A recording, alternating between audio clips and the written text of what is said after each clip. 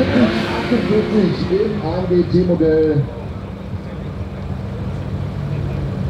Und auf der rechten Bahn, auf der Tafel nicht.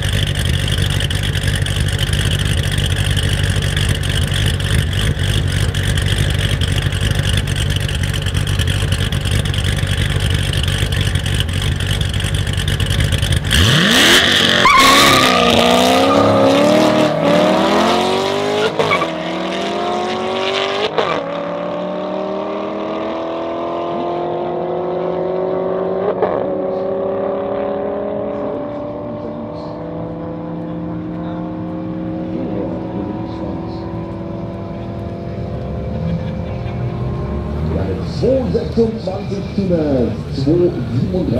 2,37.